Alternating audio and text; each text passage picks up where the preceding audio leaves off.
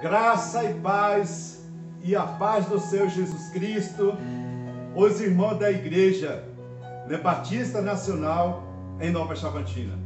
Queremos agradecer os irmãos, porque esse ano né, foi muito bom termos né, a, a, convivência, a interação e louvamos junto aí nessa, na nossa igreja aí. Queremos agradecer também pelo envio da oferta para sustentar a nossa família em campo missionário.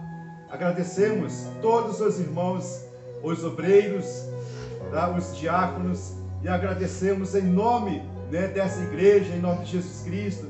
E também agradecemos o nosso líder, pastor Caleb, e a sua esposa, a família, né, a pastora Ana Cláudia.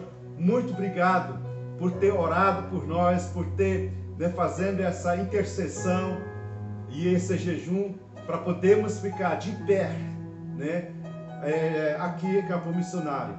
Muito obrigado mais uma vez. Queremos dedicar muitas repleto da glória de Deus, muito esplêndido realizações do milagre das bênçãos de Deus na vida de cada irmão aí da igreja, né, é, da igreja Batista Nacional em Nova Chamantina.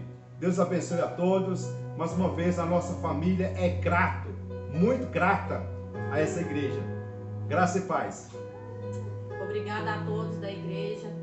Obrigado, pastor Caleb e a família dele. Que Deus abençoe a todos e que venha 2022. Que seja bênção na vida de cada um de nós.